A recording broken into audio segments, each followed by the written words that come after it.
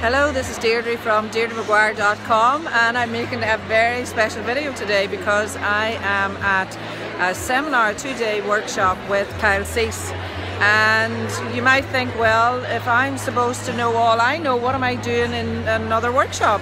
And this is what I have found that uh, it's kind of like having a plant and growing your plant and taking care of your plant and pruning your plant and putting baby bio on your plant, which is a feeder for your plant. Your, your personal development, your awareness, your coming awake is uh, it's a living, growing thing, and uh, it needs tended to. And the more you do this kind of work, the more you thrive.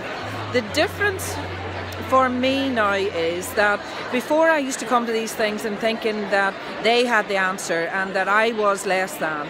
Well, the difference now is that I know that the answers are all inside me, uh, but it doesn't mean to say that I won't uh, learn something and have some further insight and have some further wisdom but there's a very slight difference, which means that what I'm trying to say is that I have inner peace, inner contentment, and the power is inside me. I'm saying that word power again. My Irish friends will be laughing at me because we say power. But anyway, uh, so the power is inside me.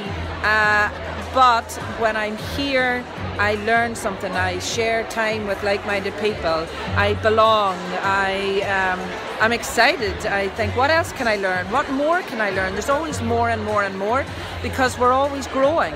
You know, a plant that's growing is always getting bigger and things are changing. So that's the very slight difference. Uh, it's good to go to seminars, it's good to feed your habit. It's not good to be addicted to them thinking that someone else has the answer. Uh, that's where I used to be and it's not where I am today. So that's just a wee bit of wisdom and I hope that helps you. And uh, it's really, really good to be alive. I'm very, very grateful for everything. And I'm looking forward to doing more of my own workshops. Maybe someday I'll have a room like this filled with people and I'll be sharing my wisdom because there's nothing I want more than for others to share what I have experienced in my life so far. This great miracle that is an adventure of life. I hope whatever you're doing today, you're having a really good one, and I'll talk to you again soon. Bye.